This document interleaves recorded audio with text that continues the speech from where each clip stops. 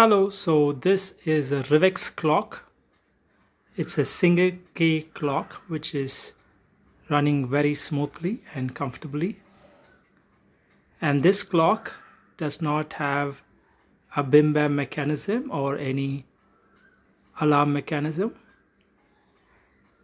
So this is a seven day Rivex clock which means if you wind fully it will run for seven days. So there'll be no sound at one hour or half an hour in this clock. It's quite a rare one, so if you find in Rivex, Nayax, Master or Scientific, which are all Indian make clocks, even though their machine comes from Japan or Germany in the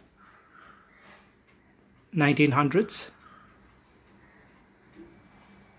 This clock was loved by many because it was a quiet clock with just a tick tock and without any bim bam.